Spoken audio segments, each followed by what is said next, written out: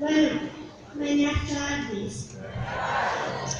Lo que yo aprendí fue que también hay algunos episodios que se burlan de Dios. Y también se... Y me gustó mucho la, la predicación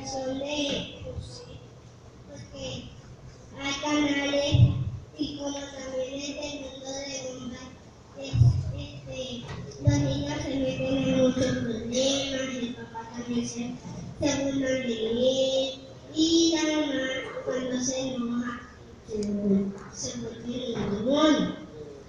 Y eso fue lo que.